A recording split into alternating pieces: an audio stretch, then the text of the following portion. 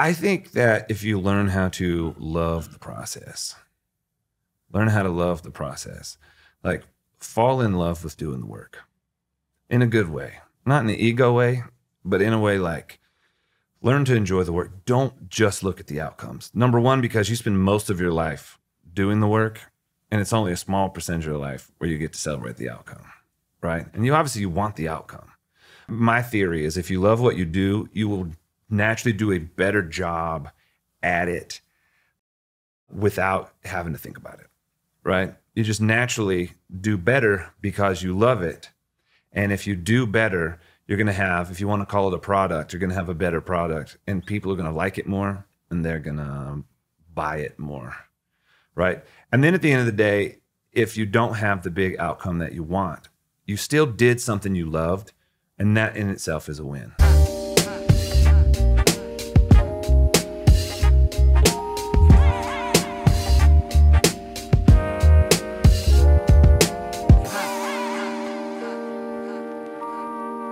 I think the really cool part about this is um, having somebody that I've known this long on the show has been really uh, something that I'm really looking forward to. So, yeah. John Mark, welcome to the Entrepreneur Studio. Well, thank you.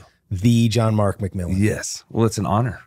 Some of our audience knows that you're a platinum award winning songwriter and a successful entrepreneur to boot. Um, but like one of the things that I was thinking about what the type of conversation that I wanted to have with you is like artists and entrepreneurs have got a lot in common. One of the biggest things is making meaningful connections. Mm-hmm.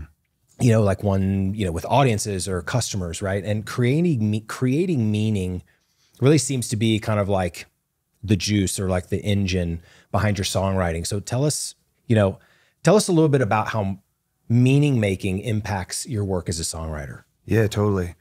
So these days, people talk a lot about value, about giving people value, mm-hmm. especially on uh, social media, where you're not talking about dollars and cents. You're talking about creating value, and it was it's hard for me sometimes. First of all, I don't think value is a bad term, but as a as a songwriter, it's like, what type of value am I really bringing to people? Mm-hmm. I'm not really an entertainer, you know. And there's a lot of artists who are great entertainers. I think what I do can be entertaining, so for me, it, it's helpful to think of what I do is offer people meaning, mm-hmm. right? And so I've been thinking a lot about just the whole idea of meaning. And I sort of, as I look back, I realized like in a lot of ways, meaning is the, um, is my like primary asset, right? Mm-hmm. It's what I have to give people. And, and anytime that I try and, I try to create something in order to have an impact I have less of an impact than when I create something with meaning and then look for an opportunity to see that thing go. And so I've sort of decided over the years that the engine that drives everything that I do, my business, my art, even I even look at it as kind of a ministry too, because I feel like I'm serving people and and on those different fronts, right? Mm-hmm. Um, when I look at the engine that drives it all, it's really meaning that drives it. And I think that I think when you talk about meaning, what we're really talking about is like the why question. Mm-hmm. I was thinking a lot about this interview because I haven't done a lot of business podcasts before. Yeah, I'm a yeah. business person. I make a living. I own my own tiny little record company. Mm-hmm. It just has me and my wife on it. Maybe someday I'll have some other people on it. But you know, so I am a business person. Yeah. Um, but I was I was thinking, what do I have to offer like the business community or the entrepreneurial community. And I think that, um, or what I what what came to mind is this idea that um, that this why question could be the driving factor for everything that you do. Mm. And there's a lot of ways to make a living. There's a lot of t- there's a lot of ways to have a business. There's a lot of ways to make money. There's a lot of good ways to make money. There's probably some lesser good ways to make yeah. money. For me though, the best way to make a living is to do something meaningful because I, I tend to think I, I had a friend one time who said I'll spend all day if I got to chop a tree down, I'm gonna spend all day sharpening the axe. I'm gonna spend five minutes chopping the tree down. And it feels like for me, when I'm doing something that doesn't have, doesn't flow from that meaningful place, mm-hmm. I feel like I spend a lot of time trying to chop that tree down. Right. I spend a lot of time trying to get people to pay attention to my music or to buy tickets to my shows or um, what, whatever it is that I'm trying to do to you know, support my family or grow my business. But when I make something with meaning, I still have to do those other things. But it's just a sharper axe. It just it just moves so much better. Mm-hmm. It it has such a greater impact when it comes from that meaningful place.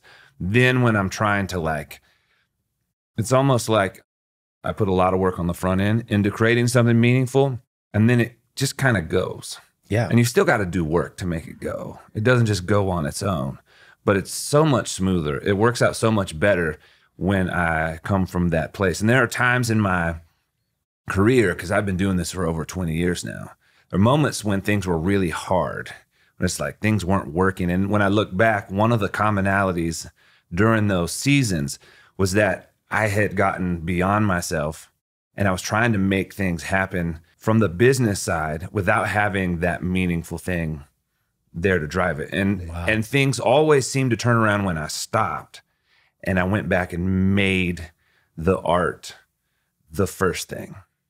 When I when I dug into the art instead of trying to find the audience for the art, it's like I'd stopped and started making stuff again that mattered. And then it became easier to find an audience when I was mm-hmm. doing something that mattered than to take something that may just be a good thing and try and force it on an audience. Yeah. Right? Does, does that make sense? It makes a lot of Yeah. sense. And there's this, you know, there's a there's a I'd say a a fine balance, right? Because uh, you know, if you think about it, what what got you beyond yourself and got away from the meaning was probably, and I think you should talk about this. The there's a, probably a little bit of pressure to continue to perform in order to have sort of your um, progress to continue or your needs your, your needs to be met and things like that. What were what what was what created that distance between you know moving away from the meaning and needing to actually get in front of an audience or do the do the thing to perform in order to do what? Like what was the thing that you were that you saw yourself moving towards that moved you away from the meaning making? Sure. I at different times it's been different things. And I mean it's a it's a little bit of a battle every day. It's like um, you know, maybe um, early on we started to realize with touring, when an album comes out, that first year is good. And sometimes the team will be like, that year was great. Let's go out and do it again. Right. And we go out and the next year it's like the numbers are down and it's like, wow, that's hard. That's always hard. You know, because you, you're doing one thing, you think, oh, next year is going to be even better than this year. But I should, there's so many times I should have just stopped Mm. and made the new record and put the time in to make the new record instead of trying to make more out of the season I was currently in, or maybe the season that was currently over. Mhm. Right. So that's one thing. I think the other thing is when I first, because I knew like nothing about this stuff. Mhm. And that's one thing about music business is I guess there are music business courses and things now, but I didn't go to one. Yeah. I don't even know that there were many of those types of things available, which honestly, a lot of that stuff wouldn't help me much now because everything's changed so much in the Yeah. past 20 years. But um but I, I kind of had to figure it out on my own. So when things first started to go, I was like, oh, it's only up and to the right. Mhm. Like it's only the trajectory is only good. And you sort of start to take some things for granted, right? You take your audience for granted, you take that relationship for granted, you the other people who are with you, sometimes you take them for granted, not on purpose and not even necessarily from an ego standpoint, though that comes into play sometimes too. Yeah. But it's more so from the fact that you just start getting busy and you're like, people actually like me. I, human beings are buying tickets to see me and hear my songs. Like Mhm. some of my songs are on the radio. Like this is happening, and you just get so busy, you get tied up in the that side of it, right? Where you're like, you know, where, where I think things shift a little bit. I, I feel like I need to spend like eighty percent of my time focused on the meaning making Yeah. and the 20% of the time figuring out how to monetize the meaning or create opportunities for the meaning to uh, well i've obviously got to figure out how to live a sustainable life Yeah. right For sure. and so you know creating those opportunities but i think there is it's very tempting sometimes when things are going really really well to sw- to switch that out and you know maybe start spending 80% of my time on the more business related things it's I guess it's not really business versus art because both parts are part of the business, right? Yeah. And I guess that's the point. But start on the monetization stuff, trying to figure out new ways to make money, start to figure out how to get more out of each thing. None of that is bad. But I've realized when things shift to where I'm spending 80% of my time doing that, I actually do worse, I do a lot more work, and I don't get the uh, return. Then when it sort of switched around and it's like 80% of my time is spent on making meaning and connections and community, and it's been 20% of my time figuring out how to, you know, make a living off of it. See that that right there though requires, I'd say, a pretty significant amount of self awareness, situational awareness, um, and like sometimes that you, you know, uh, I think business owners, entrepreneurs struggle with something similar, which is how you know there's there's some why that made their thing great at some point, Yeah. and what you're talking about is the thing that made and makes your stuff great is the meaning making, and you know how to do that, and that is a big part of your art, Yeah. right? Um, it isn't the delivery of the art only through music. Yeah, yeah. You, there's something else that's going on, right? And so one of the things that I think would be uh, good to talk about is talk about maybe a moment where you had the aha of like I'm spending 80 percent of my time. What was the situation that you were in that was like your biggest aha moment of like I I need to go back to the meaning making. Totally. Well, and I think this is where some of this language began for me because I was doing it before, but I didn't know. You know, I, I didn't know. I, I, I wouldn't have been able to articulate it the way I do Yeah. now. But I had there definitely definitely times looking back in the past twenty years where like things were not going good, and not going good meaning, you know, um, there's less interest in what I'm doing. And the thing about being an artist, and this is true for like everyone. Do you think of like the Rolling Stones or Prince or um, Beyonce or you know Taylor Swift? You think of them as only going up, but there are waves, and and the super huge artists, they their waves roll an upward trajectory Yeah. but no one is there forever, right? And so I think when um, when you're young, when you're in your 20s, and you like have five good years, you're like, this is it. This is not going to stop. And then you maybe plateau for a while, or maybe even like have a, A regression. a re- yeah, exactly. You're like, why is this happening? Like, what am I doing differently? And then there was a point probably about five years ago, maybe a year or two before the pandemic, and things just weren't working very well. And um, it, it can be for any number of reasons. I mean, the music industry is in constant change, constant change. And there are these big changes that happen every mm, 10 years, or at least have, you know, as long as I've been in it, right? We could talk about that if you wanted to. But there are these big changes, but there are little changes too, where things you used to do don't work anymore. And so um, I got, I reached a point where things were not working very well. Mhm. I was not I was having a hard time doing the things that I'd previously done before. Yeah. And there's this real interesting thing in music industry when because no one can really say what good and bad music is. You can say what awful music is.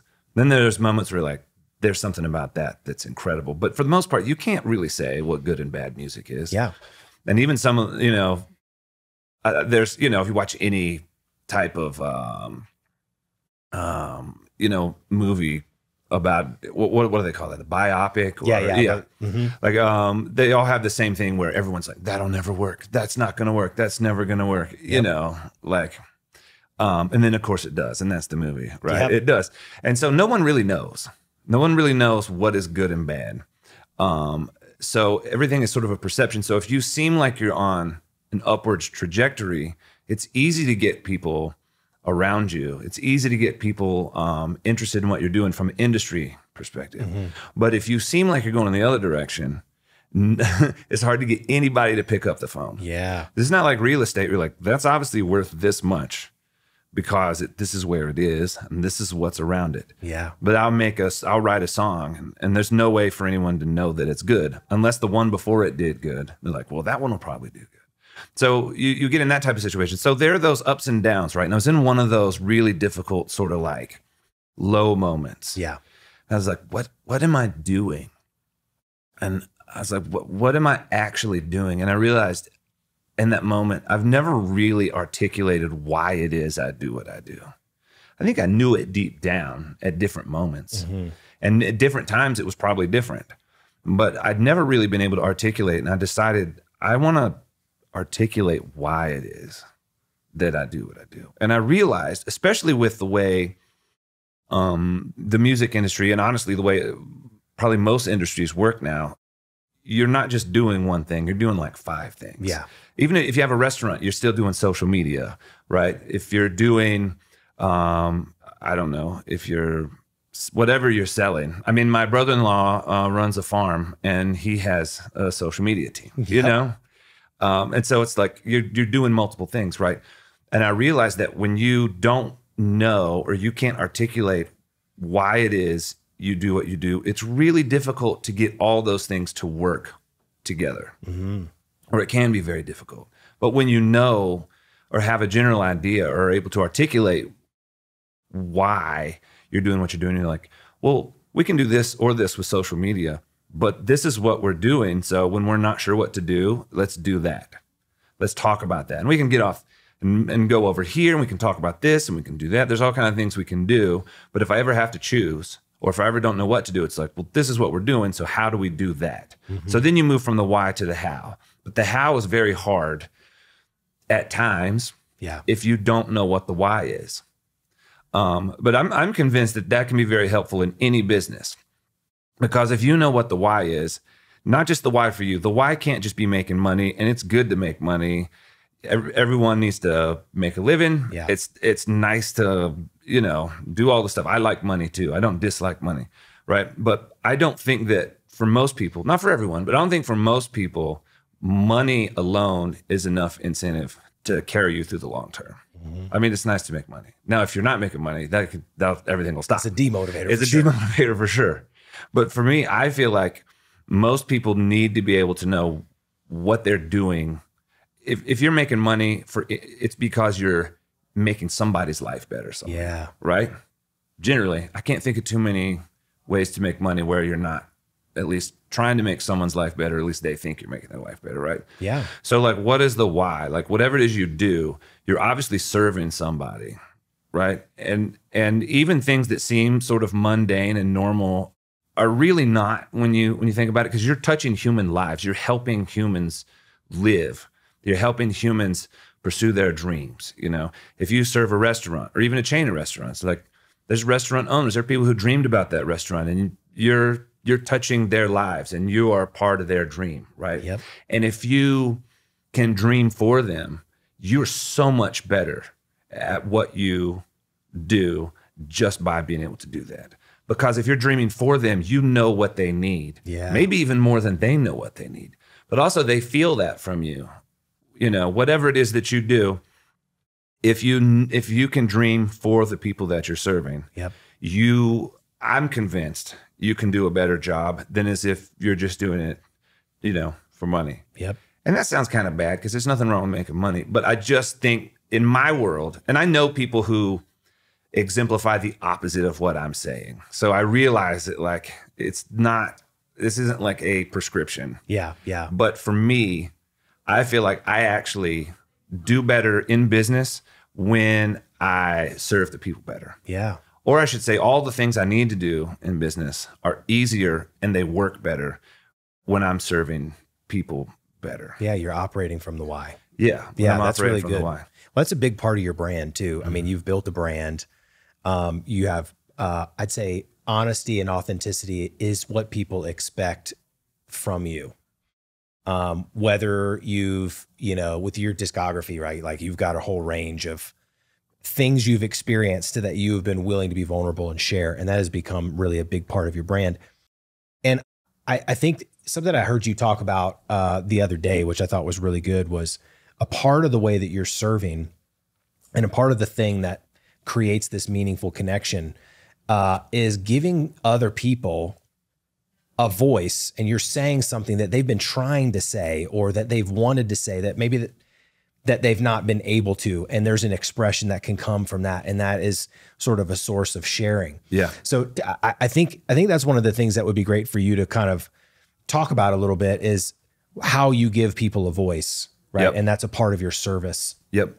To the to the, the your community. Absolutely. Well, I realized something not long ago when even just looking at like my social media numbers, like, um, why did this video do really well and this video did not do really well? Right. And if they're similar formats and there's not much different as far as the way they were done, there's all those little things that if you do wrong, the algorithm isn't going to treat you very well. Yeah. But if you kind of know how it works, like why did this one do well and this didn't do well? Yeah. And I realized something. People don't share your content because they think you're cool. Mostly. Sometimes you see someone like playing a guitar and they're just wailing. You're like, this is cool. Yeah. I'm going to share it. Most of the time, they don't do that. Most of the time, people share things because they deep down want to share themselves. And and so when someone sings a song that feels like you or resonates with you, when there's a lyric or even some of my videos where I'm just talking, I realize people are not sharing it because they're like, "Oh, John Mark's smart." People are sharing it because what they're saying is like, "I feel this way too. This is me." Right? And so what happens is you sort of become a voice for them when I talk about meaning or whatever and someone shares that video, what they're really saying is like, "This is how I feel." So what they're really doing is sharing themselves. And the cool thing is that when you realize that, um, the videos that like um, 15,000 people share do better than videos that people just look at, Yep. right? It also it's it's great um, for for connection and connecting with new people and growing your brand because literally other people are sharing you. But they're not sharing you, they're sharing themselves, but you are the face of it and so they're sending your content to you know their friends like apparently I've read i'm trying to remember where i heard this but on instagram for instance there's more activity in the dms than there is even out in public. Okay. because people are sharing stuff with their friends. I got all kind of stuff i share with my friends through the dms i don't necessarily share publicly not because it's bad or whatever but it's just like i know these guys are going to think this is funny. This is for them. Yeah. you know? But when people share your stuff your stuff grows right? And they're more likely to share it when they see themselves in you and you're able to say something that they wanted to say and weren't quite able to say or just hadn't been able to say that way. Mm-hmm. you know? And so it's like that's that's by giving them meaning by helping them articulate the way they feel about something by simply articulating how i feel about something then they take it and they share it. And so i guess that's a perfect example of how like when i lean into the meaning like i could i could spend like a ton of money and i do sometimes you know and sometimes it's frustrating like i filmed this awesome music video I spent a lot of money on it it looks cool and people liked it a lot of people liked it but those things don't move the way when I say something that someone else wants to say for themselves. Mm-hmm. You know, when I lean into the meaning, it makes everything easier, right? It's like it's free promotion, right? I love that. You know, and so it's like it's it, it it's it's sharpening the axe and then spend five minutes chopping down the tree, or I can not sharpen the axe. I can not articulate or figure out why it is I feel a certain way, and I can spend all day trying to chop the tree down with a dull axe. I just think that's like the artist's dilemma, though. You know what I mean? Like capturing, you know, the- I- I- you know, you hear the term "magic in a bottle," um, where something goes viral or or whatever, and you know, then you've got this sort of one-hit wonder where people are like, "Oh man, they just got that one thing and they couldn't do it on repeat." I, I would just say something that's really interesting about you, right? Is of course you've had songs that are bigger than others, but for but if you really do listen, there is um there's something really meaningful just in your music alone that you've been able to do more than once. Yeah, You know what I'm saying? hmm And I, I wonder how that happens. And is it is that really the thing where you continue to re you go back to the well and revisit your why and you can do it again and again and again? Sometimes, yeah. I mean, it's um, in a lot of ways, it's like fishing. It's like the more time you spend on the water, the more likely you are to catch a fish. But some days you go out and you don't catch anything. Um, and it's like that with ideas or, um, yeah. So some of it is um, just trying to make myself available to write a song or just writing a lot. You know, I write a lot of bad songs. And sometimes it's sitting around and asking myself all day, what are you doing? Why are you doing it? Why does it matter? And how does this make anyone else's life better? And sometimes it's just, and, and honestly, I, I think there's a, this is going to sound a little weird, but sometimes there is a, uh, a little bit of a good selfishness.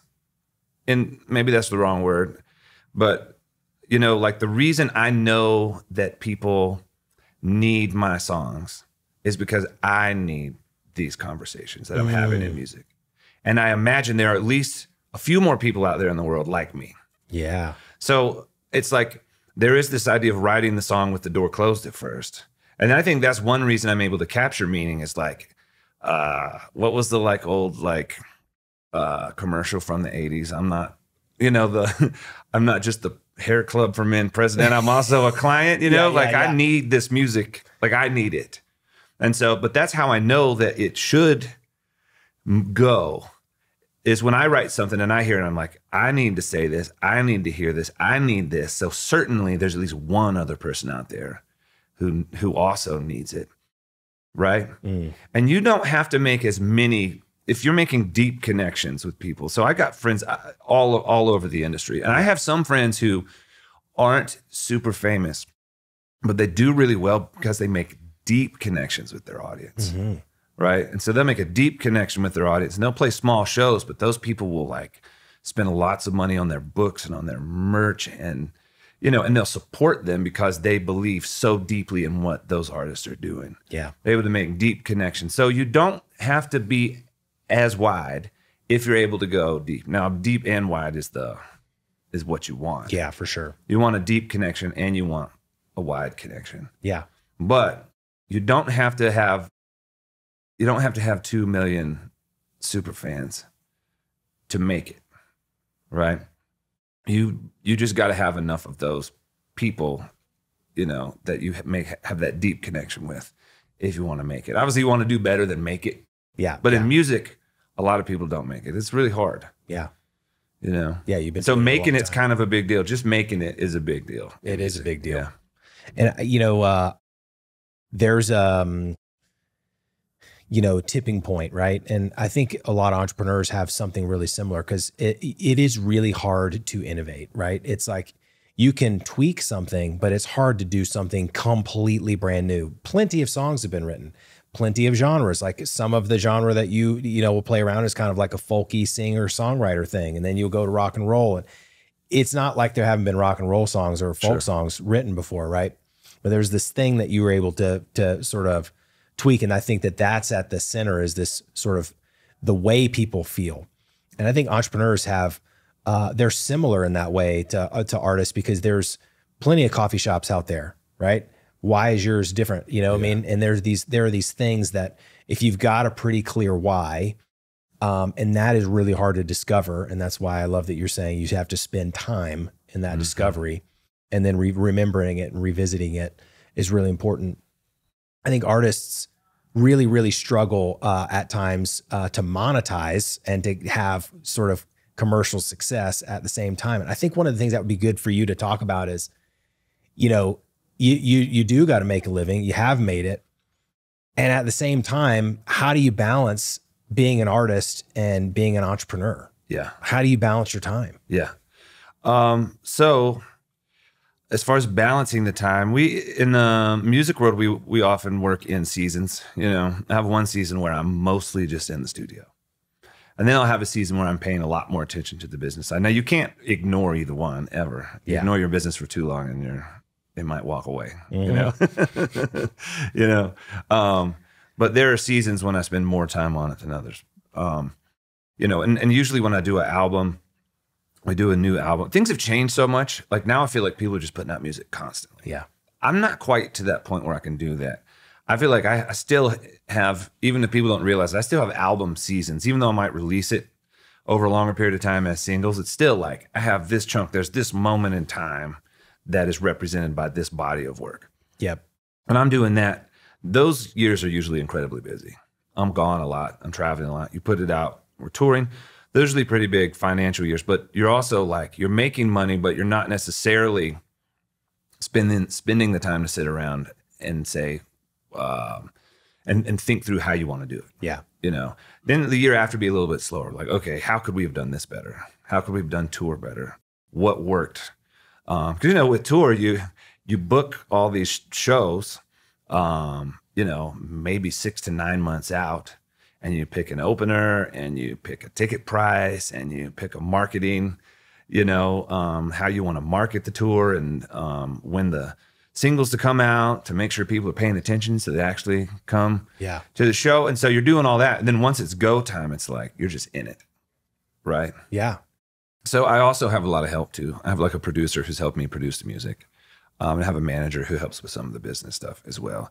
And so every now and then, me and my manager will sit down and we'll just list all the ways that we could possibly make money. Mm. And we'll say, all right, are we doing better or worse in this area than that area? Does this area even exist anymore? Like I still have a I still have a like a warehouse full of CDs.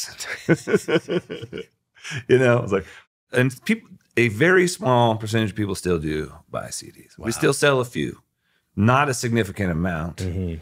you know um but we do have some people but generally that's basically gone Yeah. that's over you know so we're like and what are we not doing so number one we'll sit down and look at all the ways we're talking about the business um ways we're doing well ways we can grow. And there's probably like 16 or 17 different um ways that we monetize. I mean i i wrote it down No, because you gotta I'm read gonna, them I'm gonna read them all i'm gonna read them off because I, I don't even know if i can recite them all. We have publishing performing rights, um, licensing, micro licensing, multi tracks, which is like micro licensing, except people can license the, all, you know, the stems. So if you're if they want to play your song like at church or karaoke, they could if they have a guitar player, they can turn the guitar off and they can play a guitar. you know? Yeah. So we- there you go. um, digital streaming platforms. You know, there's obviously the big ones, which are Apple Music and um, Spotify, but that also includes YouTube. And there's a bunch of different ones in different territories, um, different ones in Europe and in South America and whatnot. Um, the DSPs, digital streaming platforms. And then there's tour, and tour breaks down into ticket sales. We do a pre-show add-on where if people want a little bit deeper experience, they can show up and listen to me talk, or they can ask questions, and you know. So we have the pre-show add-on, which is significant because sometimes the ticket sales is really just paying my band and paying the fees and Yeah. paying all that kind of stuff. And that pre-show sometimes is like that's where That's yours. that's mine, yeah. Yeah. But then we, uh, you know, we sell merch live, um, live merch, sponsorships, all that's part of tour, um, appearances, internet sales, collaborations, music production. I don't do so much with music production, but I have in the past where other artists like how I sound, and so I'll produce songs for them. Yeah. There's all sorts of other things, but we have all this kind of stuff going on. So we go through the list and we're like, there's, you know, there's like three of us. So we sit down and be like, what can we do better? You know, what is worth what what what's even relevant anymore? yeah. And what are we not even thinking of? Yeah. Right. And then we try and figure out how all that works with what we're already doing. Because what we're doing is creating meaning, creating connection, and then uh, building community. That's actually what we're doing. And that's really the platform that all the business flows out of, right? That's like the well that the business flows out of. So if that's healthy, then we can start asking questions about how to do all this, you know? Can you say that again? Because I love the three things that you just said. Yeah. Uh, so The what, three things that you're what doing. we are doing is we are um, making meaning, we are making connections, and then we are cultivating community. That's what we're doing. Right. and there's there's commonality right Yeah. there with any entrepreneur. totally. Yeah. Yeah. Because and, and one of the things you've done really well in the, in the community side of it, right? We talked about the the meaning. There's the connections that we can talk about, but ultimately on the uh, on the creating community, you've done a really good job on social media, right? There's, you know, um, there's a I, I'd say you've you've done something pretty meaningful, not just the size of the audience, but the engagement, Mhm. right? And I just wonder what's sort of the in your mind, what is the role of social media Yeah. for you? Social media is um, one way that we connect, and it's one way we try and foster community. So, obviously, um, if if I'm saying things that resonate with people, they'll share it. Yep. And that's sort of the awareness portion. I didn't previously exist in their world, and now I do. Mm-hmm. right? And so maybe they're paying attention. So, um, but also it's for um, there are people who um, are already sort of connected, and how do I maintain that relationship? You know, Yeah. so social media in a lot of ways is how I maintain that relationship. Um, it's also how like um, no, like I this this is almost a joke uh, because it happens so often, uh, but it, this is so common. I'll play a show in Chicago, right? And then the next day, literally the next day, in the DM, someone's like, "Man, how come you never come to Chicago?" you know, I'm like, I literally was just there. You're like, we missed each I other. know exactly. So you got to maintain that connection. So there are people. So this person, and it happens so often. Yeah. This person, obviously, he or she, they like what I do enough that they're obviously paying attention, and they're obviously enough to just go to the DMs and be kind of a jerk. But I appreciate it to be like, how come you never come to my city? Yeah.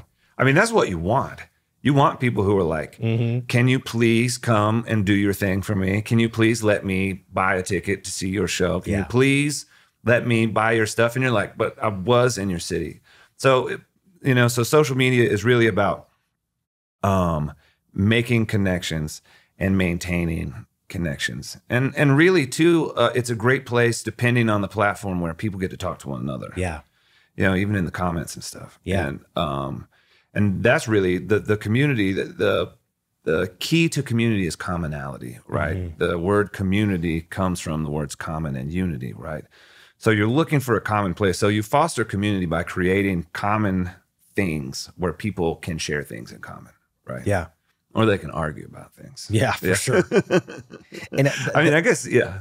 Well, one of the things that you you do as well is like if social media is a place for you know you can have kind of a one to one connection in the DMs. You've got a really you know one to many uh, relationship uh, that can that happens with just you you know posting and people sharing, and then you've got sort of this peer to peer aspect as well, and that's sort of the collection of community. And sales wise, right? You you're it's really hard to get off you know, Instagram's made it Yeah. easier, right? And some Yeah, yeah. social media platforms have made it easier, some not so much. Yeah. And there are these things that happen in live events, and it isn't always that people are going to go follow you on social media and learn everything. It's right. Yep. So, what are some of the other ways that you sort of maintain uh, the community and have kind of like connection? Is it email lists, cell phone numbers? Yep. So it's always changing, and I'm always considering new things. And I try and keep up with most of the platforms. Um, one will usually be the one that works the best, and so I'll put 80% of my social media time on that one, and 20% on the others in case things move and change. Because they have. I started on MySpace. You know, I remember getting up every morning.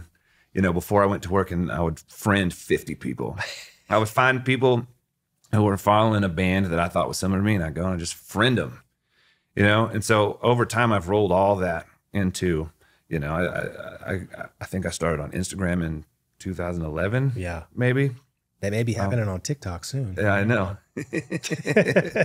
But um no i i still think um from my point of view um the the best connection you can have with somebody um is an email. You know email is still the best. So one of my goals as far as like maintaining connection one of my biggest goals is to get is to move people to email. Because also if one of the big platforms you know happens to be owned by a foreign entity and the government shuts them down Yeah. what are you going to do if you don't have an email list? Mm-hmm. and also there are platforms that worked really well for me that stopped. What do you do when that happens? You know so one it's just great to own your stuff to know that like you own this connection.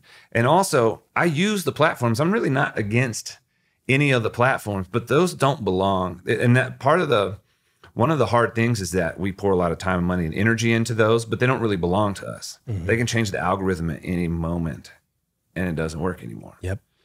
and that's fine i guess that's you know It's the their the game. prerogative, but it doesn't affect me as long as I am moving those people over to my email list. Yeah. So one thing I want to do is make the email list itself more meaningful. Have things that people look forward to seeing when they open the emails. Yeah. Yeah. Um, the other thing is email doesn't work on an algorithm. You know, I know It's a like- transaction. it is. It's like boom, and I, I like to send them early in the morning because I feel like most people first thing they do is they get to work and they look at their email. yeah. Yeah. You know, I mean, different people have different strategies as far as when to send an email. Um, but yeah, that's from my perspective. The email is um, probably the the strongest connection Yeah. I can have with a large group of people. You know, um, if I can physically be in front of those people, and this is one thing I tell young artists. when they ask, um, when they like, they want to know what they can do, what they need to be doing, um, how can they make it? Like, I think one of the best things you can do as an artist right now is to get in front of live human beings any way that you can. Mm. Because so many people, I mean, you have to do the social media thing, but so many people are fighting for that space and they count on going viral to make their career. And but you might never go viral. Yeah. But if you can get in front of human beings, the other thing is if you're real smart, you know, like I see Gary Vee in front of human beings and going viral. Oh yeah. And so like like young artists, go play, get in front of people. I don't care if it's five people. I had a friend one time, he wanted to know what he needed to do. And I was like, you need to do a hundred house shows. A hundred house shows. And he did it. And he kind of built a little career off of it. He did pretty good. He he ended up doing some other stuff. He went into acting or whatever. But um well, but he did 100 house shows. He might be in front of five people um, in a city, but if, if you do 100 shows, that's 100 cities where you have five people. And if you're good, they're sharing you. And they're not just sharing you, they're sharing you from all over the country. Mm-hmm.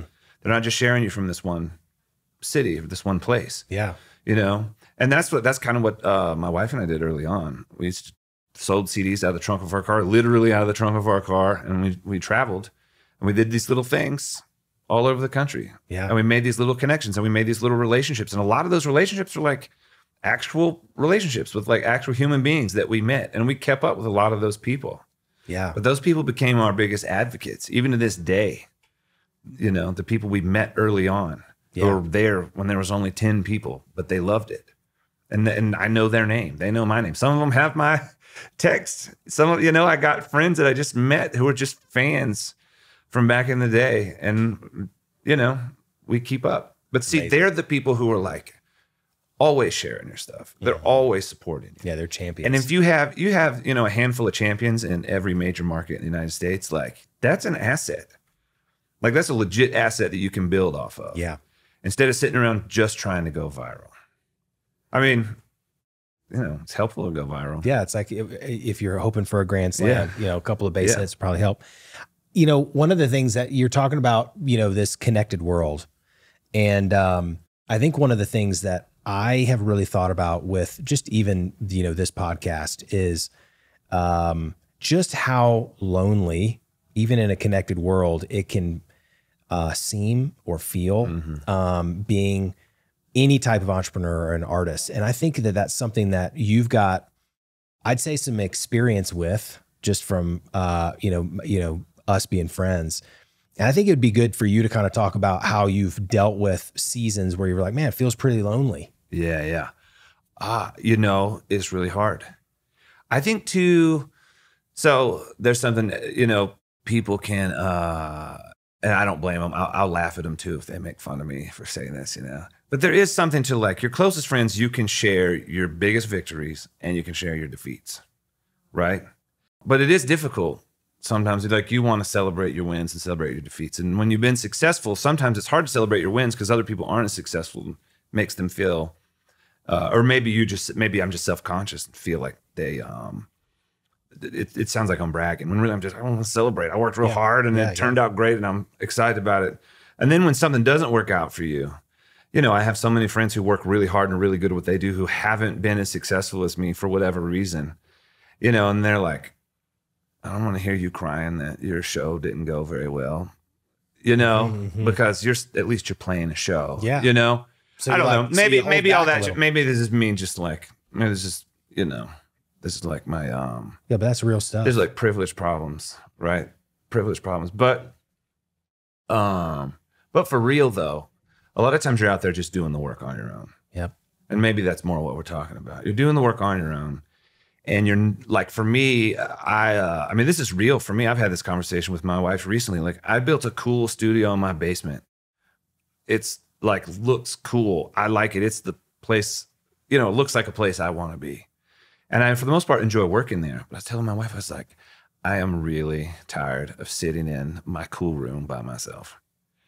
You know, I'm really tired of looking at like my comic book wall and all my cool instruments and like not having anybody else to pick one up. Yeah. You know, and during the pandemic, we started um because technology had, you know, 20 years ago, 15 years ago, the technology wasn't it wasn't so easy for everyone to just record their part and just Yeah, you Send it really to had you. to go somewhere. but right around the time of the pandemic, technology had become like really good at doing that, right? And and most of my friends already had gear at their house thinking. So we got to where like we're doing a lot of work remote, which sounds really fun. And in, in one sense, it's really cool. There's like a saxophone player like in Oregon who can do who can who can play a part. and Send it to me. There's an organ player in LA and a drummer in New York. Like I can use all those people, and it, that is so fascinating. or even people who like you wouldn't have access to before. People who play with like the top of the top. You know, if they're not doing anything, sometimes you can like hit them up and be like, "How much for two hours to play a solo on the song?" And a lot of times they'll just be like, "Yeah, all right," and they'll do it. That that would be would have been out of reach Yeah. previously. That would have been impossible. Yeah, you got to fly him somewhere. or- Exactly. Um, now you can do that, but the downside is I'm sitting at home staring at a computer screen all day. Yeah. And I, I never, I got into music and songwriting and all this stuff really because I love the connection. I love singing. That's when I realized I wanted to do this for a living.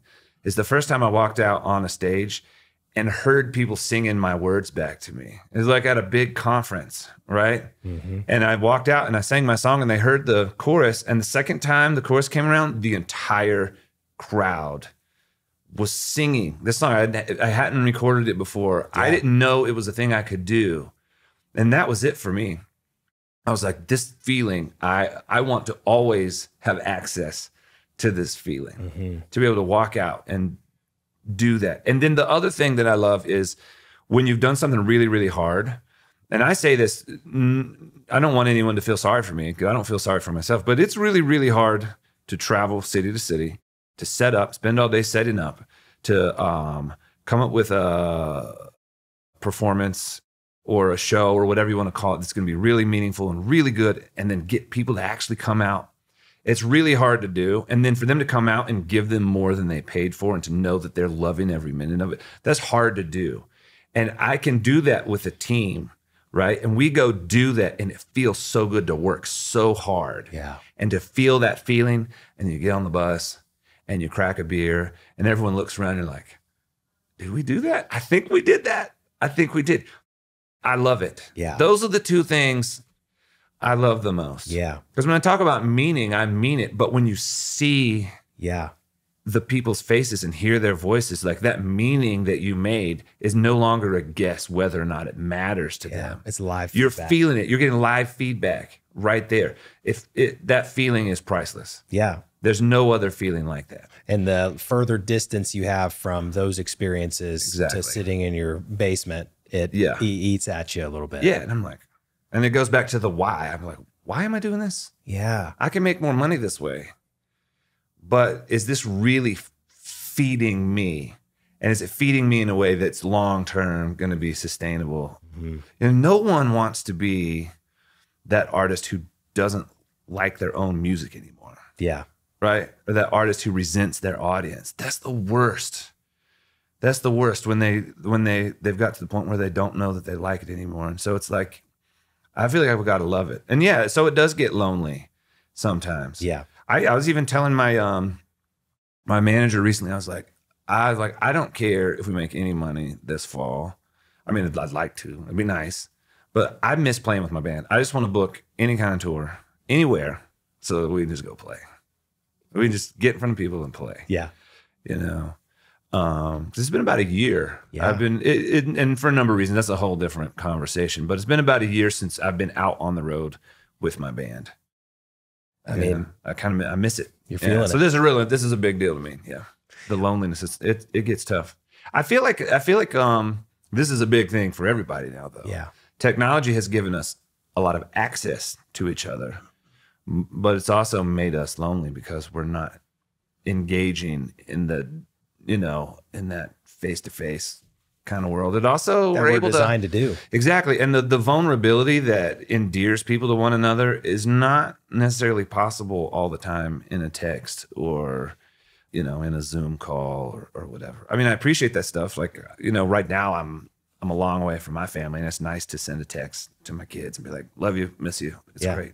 There are massive advantages, and Yeah. done, you know, maybe too much, it can be a disadvantage as well. Yeah. But loneliness is also really unhealthy. A friend of mine who says that loneliness is worse for you than cigarettes. As far as like, you know, people don't live very long when they're lonely. You know, so that's something I want to fix. And and that's why it's a big conversation, I think, um, for me right now is um I, that's one of the big things I said earlier this year. I was like, one of my goals is to get in the room with other humans that I know and care about, you know, oh, as as often as I can this year Yeah, you know, because you have to make an effort, you know. absolutely.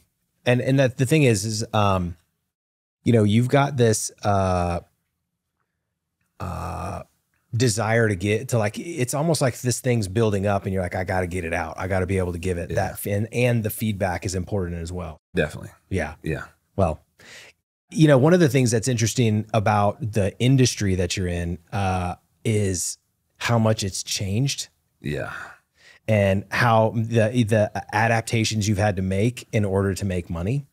And so I just wonder, like, what did you think the music industry was gonna be, Yeah, and yeah. what is it now? yep. It's changed so much, and it continues to change. You know, like in the in the eighties and nineties, a lot of the big bands would do one album every three years, and I thought you spend a whole year making an album, and then you spend, you know, months marketing it, and you spend like a year and a half touring it, and then you take a break and you write the next album. I thought that's what it was going to be, right? Um, but that's changed significantly. Mhm. Um, and the biggest change, there's two. I think it's one one thing. Um, there's uh, technology has changed music for better and worse.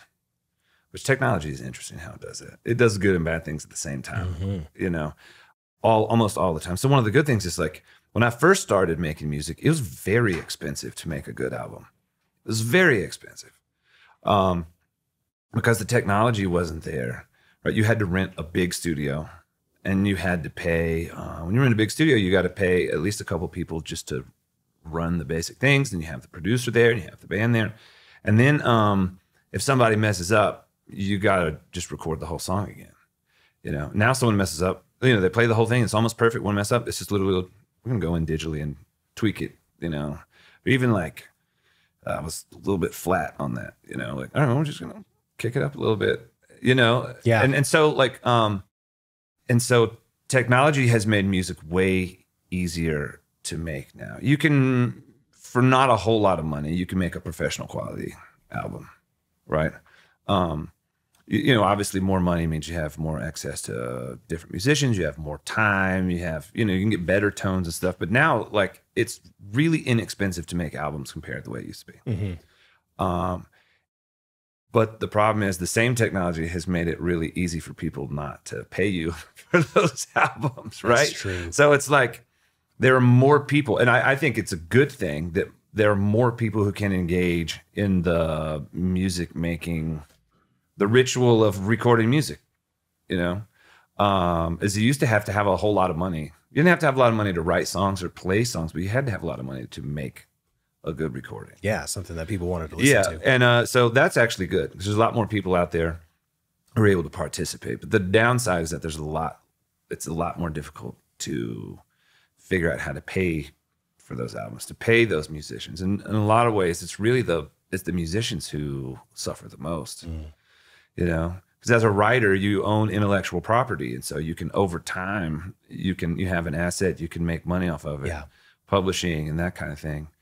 Um, but when there's less money overall, there's less money to pay the individual musicians. And then you're like, well, we could have him in for two days, but I also could just tweak this and we don't have to. Or I could sample the drums and we could, there's all kind of things Yeah. like that, you know, and so it's both positive and. And then, you know, you kind of have the move from CDs to downloads, right? Mhm. um, which that was really looking back was probably prime time for being an independent musician because previously you could make a lot of money selling CDs, but you also had to print the CDs, you had to ship the CDs, you had to sell them, and CDs were sold on consignment like magazines, right? Mhm. So if you wanted to have 10 of your CDs on the shelf in every record store in America. It's going to cost you millions of dollars to be there, Mm-hmm.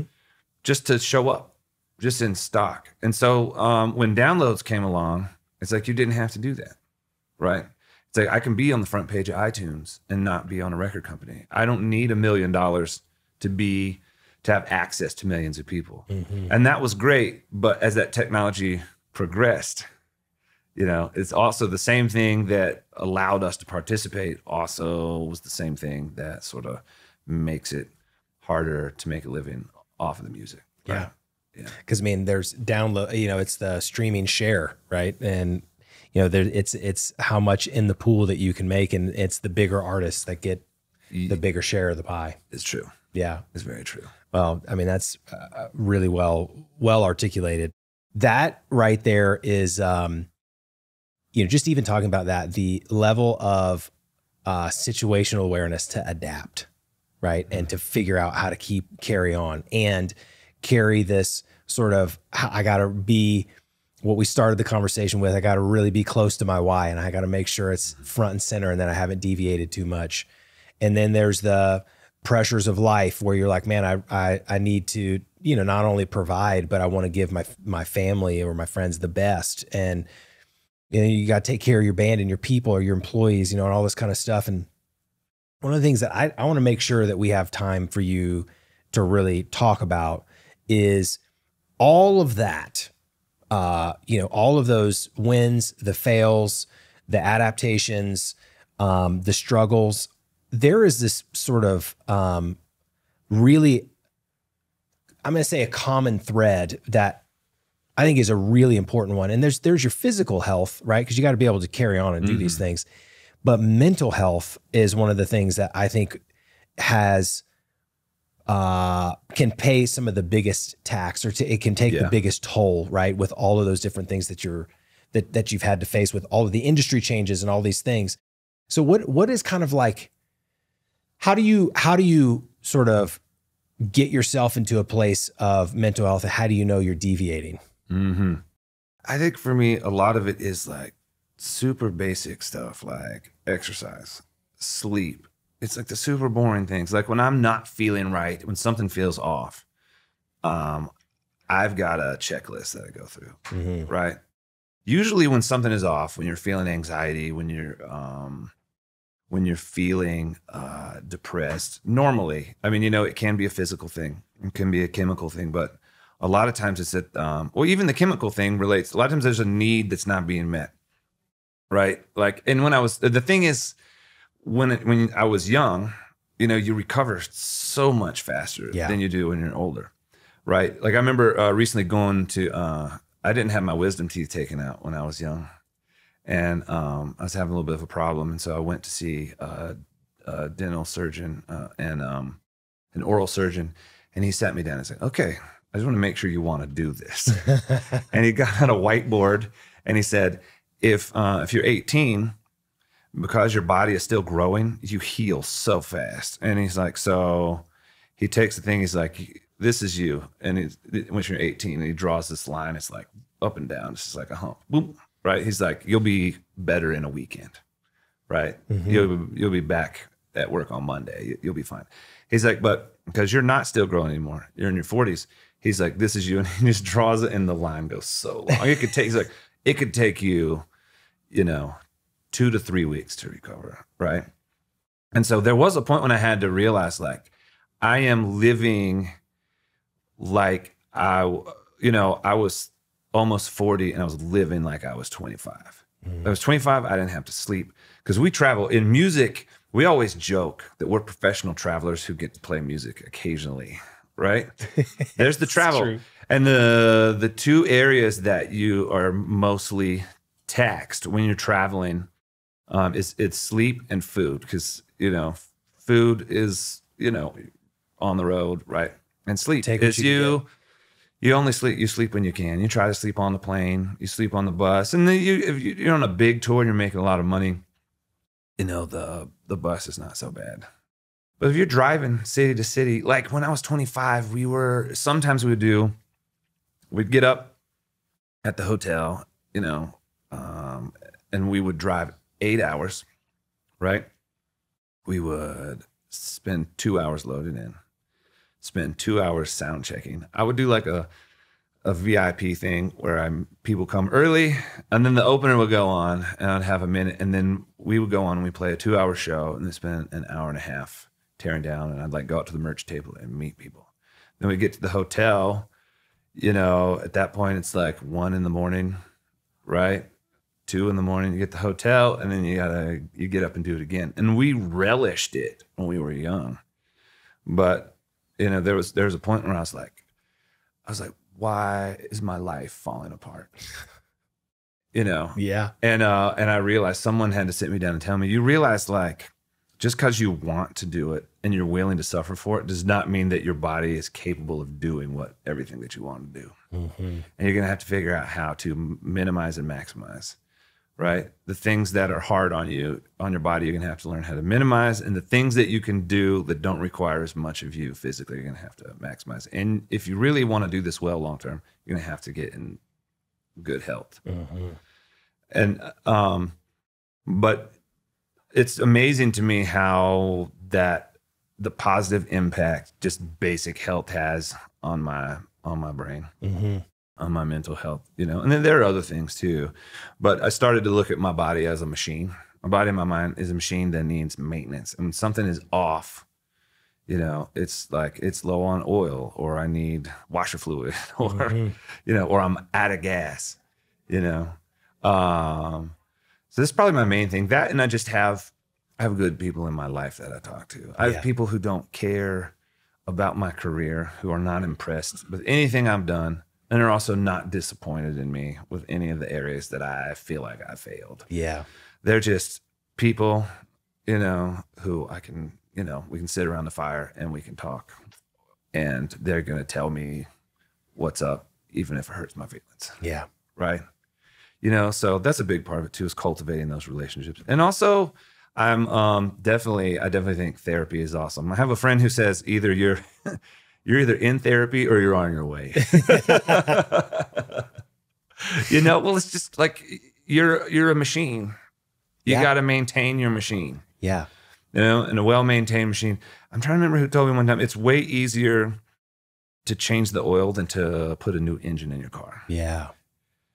You know, so I'm always asking myself, and honestly, my work is so much more meaningful when I am taking care of myself Yeah. That's good. because my mind is there, and I can see I'm like, yeah, this is good. I was like, I know this is good. I get more done, and it, it's you know, and and it feels it's one of those things, right?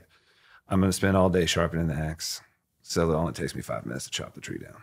Right? Or if I don't sharpen the axe, if I don't take care of myself, it's going to take me all day to chop that tree down.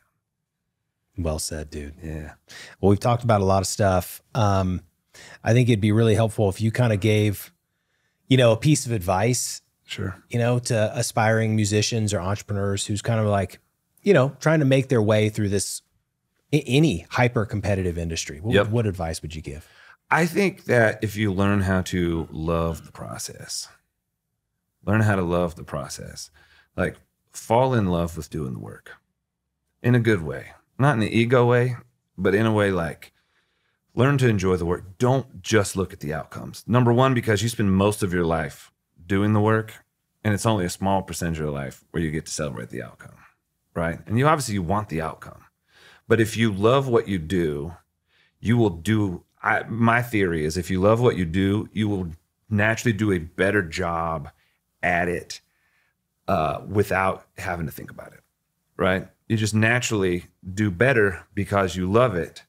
And if you do better you're going to have if you want to call it a product you're going to have a better product and people are going to like it more and they're going to buy it more right? And then at the end of the day if you don't have the big outcome that you want you still did something you loved and that in itself is a win mm-hmm. right? But if you can learn to fall in love with the process and for music, musicians especially this is incredibly important. Because if you're going to be an artist you're going to spend a long time not making money right you're going to spend a long time creating those connections and building that audience and if you try and if you try and tap that audience too soon you're going to run them off they'll like i mean i like your song but i'm not going to spend $20 a month on your patreon i'm not going to uh, man, I like your song, but I'm not going to travel two hours and go see you play in another town because I like your song. It takes time to build those, to build trust and build those connections with people. And uh, you kind of need to look at it as uh, um, as those relationships are really your biggest asset, right? But if you don't love the process, this is going to be a really, really frustrating journey for you as a musician, as an artist, I think. But I think in any field, if you love what you do and it's meaningful to you, you're going to do it better. You know, like I, I have a friend who talks about, um, he likes to look at a thing and call it an idea. He look at look at a restaurant and be like, well, that, that's an idea, right? Yeah. And you walk in, it's an idea. You're like, you're right. Some very smart person realized there's a need for this and so they put this here, but they're not actually passionate about that thing. And you've all been to those places, right? Where you walk in and you're like, this is getting the job done, but no one here cares about it, right? There are movies that have come out recently that I knew were going to flop. And it's not because I know much about movies. I'm like, I'm not going to say what the movie is, but I knew it was going to flop. And I knew because I'm like, you cannot convince me that the director cares about these characters. Yeah. You can't, don't tell me that any of the actors knew they existed, right? Yep. Or that they read the script and liked it. No one involved on any level is passionate about this group of characters or about this story. And you could tell from the beginning, right? And and and the movie flop, right? Because nobody really cares, hmm. you know. And then certainly there are blockbusters that no one cares about, and they do them well, and they're entertaining, you know. So I'm not saying that it's a it's a rule, and there are all kind of businesses where people just meet a need and the owner doesn't love the business and they just they do a good job and they make it. But you know when you walk in a coffee shop and you're like somebody designed these walls. Somebody loved this place. And i love being here because somebody else loved it. That's not an idea. That's that's someone put some meaning into into that business Yeah. you know, there's a huge business downtown. I don't know. I don't like putting other people's things down, but there's there's a business downtown. Um, was is a movie theater chain that I think should have really worked. They're serving food and had the whole high end thing, and I think someone thought, man, this city really needs this type of thing, and they did it, and it just it failed. And I don't know that it failed because it wasn't good. You just saw it. It, only lasted a few years, and each year the quality went down. You can see they weren't investing more time and energy Yeah. into it. Went down, and then they ended up closing the doors. But I've been to that same type of thing in other cities where you can tell people obviously love this. Mm-hmm. Somebody is really passionate or finds meaning in doing this for people. The mm-hmm. food is good, the experience is good, right? So one thing is an idea. Like, well, that's an idea. But the other thing is something else. Man, that the thing that strikes me when you're talking like that is there's a difference between selling something and offering something. And you know, uh, the meaning you're you're able to offer something, right? Versus a trans you're looking for a transaction. And both of them can involve money. Yeah, that's the word transaction. Yeah.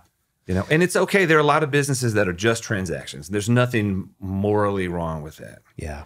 I just feel like if you're going to spend your life doing something, don't just make a transaction, right? But it's not even like I'm not even saying you need to leave what you do and do something else. I've got a really good friend. Uh, he played on every major country album in the '90s. He uh, he played with Elton John and Sting. Um, the pro- there's producers who used to call him in. They were working with big bands. I'm not going to say what bands, but you would know if I said their name. Huge bands. They would leave, and the producer would call him in at night and fix all their parts. And he'd fix them so well that the band didn't know that he had fixed them. Right. Wow. You know, so he's been in the music industry forever. And he said there's a difference in a player and a professional. A player can play the part, but a professional shows up every day and figures out how to fall in love with the song that they've played every day for the last six months. And he regularly was a band leader for really huge artists. And the um and so and he was constantly trying to keep the band motivated in that space. So whatever it is you're doing, you can figure out how to find meaning in it. I'm pretty, I'm pretty convinced. But to, so in a lot of ways, it's an approach, Mhm. offering something versus just a transaction. Yeah. Yeah. Well said, dude. Well, what's uh what's next for John Mark McMillan? What is next? Um, I'm always working on new music. I've got a I got a handful of singles. I've done some cool collaborations that I'm I'm pretty excited about excited about. And I'm working on a whole new album. And I've been most people who know me probably know my songs from like the worship music space. I've done a lot of other things, but my biggest songs have definitely been in that space. And I kind of I kind of veered out of it for a little bit and moved more towards an adjacent type of um space. But last year was honestly a very difficult year for a number of reasons. My wife had health issues, my dad had a stroke, her dad was very sick and ended up passing away. So it was, it was a difficult year, but I found myself around the house, like sing, singing these like old school worship choruses. Mm. You know, I wasn't planning on recording any of those. I was actively working on other music. and I, and at a point I was like, these like little worship choruses are like pleasantly haunting my life. I was like, maybe they need a place to live. Maybe they need a home. So I kind of I didn't think I would do this. Um I didn't rule it out, but I really never thought I was going to lean back into like worship music. Mm-hmm. But these little haunting, pleasantly haunting songs were just hanging around us, and I started to feel like they needed a home. So I'm recording kind of a worship album Wow. that I'm I'm real excited about. It's I'm a little nervous because it's it's you know it is leaning back into an area that I haven't been a part of in a while, Mm-hmm. and um and uh I think people are gonna like it though. That's awesome. I think people will like it. A lot of people who followed me for a long time Yet that that's part of what I do yeah. and um, it's so uncool that it's cool. Uh, something about it is refreshing. I mean, I'm sure it's going to be good. yeah, but so I'm doing that. Um, I've got some other big ideas. We'll see if they're just ideas Oh, or if man. there's something else. Here we go. Yeah, Well, um, I just got to say, uh, I have really enjoyed having you sit in this seat. I've wanted to have this conversation with you for a long time. You know, I've got a tremendous amount of respect for you as an artist, as a person, as a man.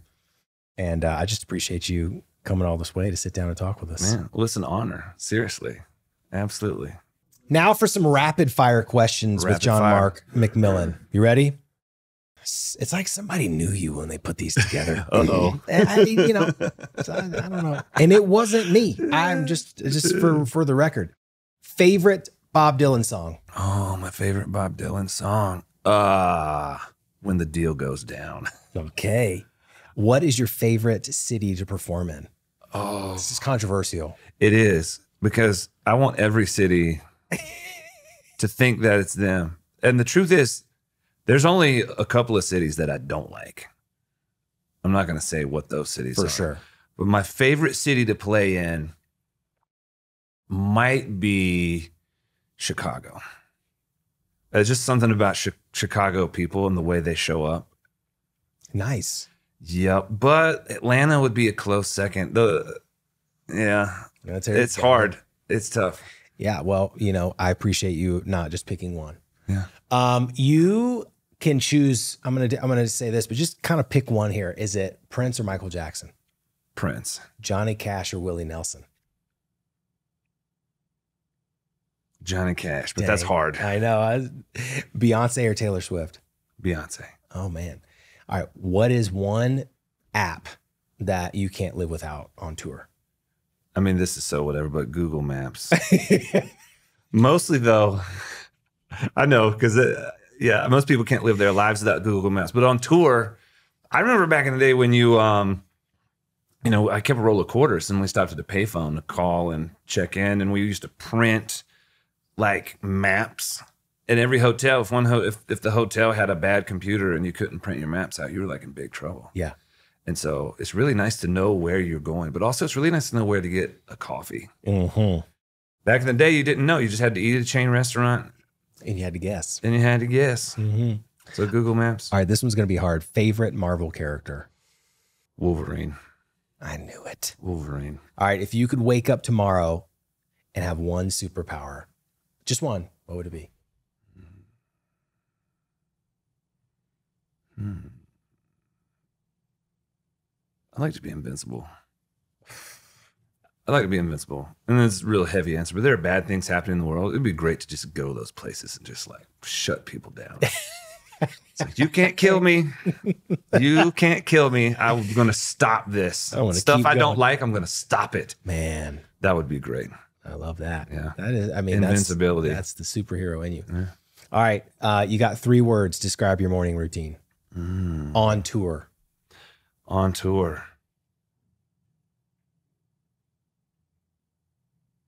Slow, quiet, and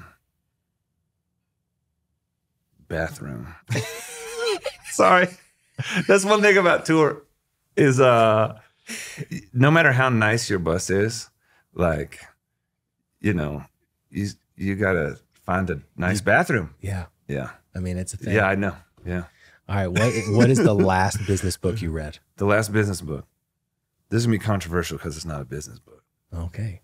but it's called Story by Robert McKee, and it's actually about screenwriting.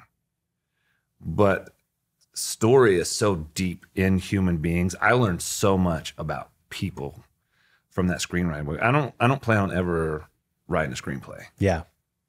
but it's the the depth to which story is in us as human beings, almost to the point where you could say that a person is really a story with a body.